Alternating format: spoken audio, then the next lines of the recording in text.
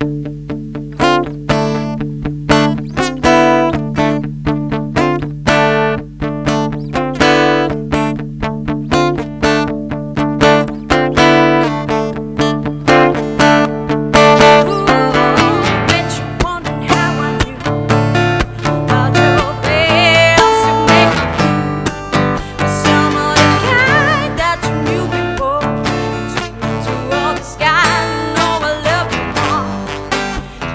by surprise, I must say.